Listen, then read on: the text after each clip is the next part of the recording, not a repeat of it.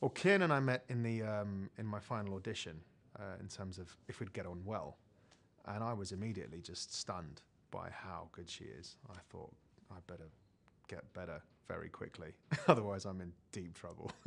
so, so thank you, Kiernan. You've you've sorted me out. You've helped me out. Uh, she's just great. She's you know she's a old soul. She's fantastic to work with. She uh, she can just you know turn it on like that.